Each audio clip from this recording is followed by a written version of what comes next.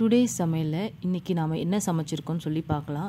பொதுவாகவே சண்டேயில் பார்த்திங்கன்னா எல்லாருக்குமே எல்லார் வீட்லேயும் நான்வெஜ் இருக்கும். அந்த மாதிரி தான் எங்கள் வீட்லேயும் இன்றைக்கி நான்வெஜ் செஞ்சோம். இன்றைக்கி பார்த்திங்கன்னா வெறும் மீன் ஐட்டம்ஸ் தான். ஃபஸ்ட்டு வந்து ரைஸ் காமிச்சிட்டேன். ரெண்டாவது வந்து பார்த்திங்கன்னா நண்டு நண்டு ஃப்ரை இது. மூணாவது வந்து பார்த்திங்கன்னா மீன் குழம்பு அதாவது நெத்திலி மீன் குழம்பு. நெத்திலி மீன் போட்டு குழம்பு வச்சா அவ்வளோ நல்லது. ஏன்னா இது ஒரு பத்திய மீனுன்னு சொல்லுவாங்க. ரொம்ப நல்லாவும் இருந்தது டேஸ்ட்டாகவும் இருந்தது.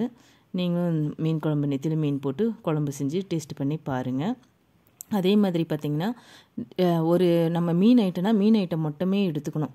ஏன்னு பார்த்தீங்கன்னா கறி மட்டனு எல்லாமே சேர்த்து எடுத்துகிட்டா அதோட டேஸ்ட் வந்து மாறிடும். இது வந்து பார்த்திங்கன்னா சொரா புட்டு. இது வந்து பார்த்திங்கன்னா கடம்பா வந்து கடம்பா ஃப்ரை இது. இது வந்து நல்லா சூப்பராக இருக்கும். க்ளீன் பண்ணுறதும் ஈஸி அதே நேரத்தில் வந்து சாப்பிட்றதுக்கு கறி மாதிரி இருக்கும். இது வந்து மீன் ஃப்ரை. வஞ்ச வவ்வால் மீன் ஃப்ரை இது. கடைசியாக வந்து பார்த்திங்கன்னா ரசம். இதோட நம்ம சமையல் வந்து முடியுது.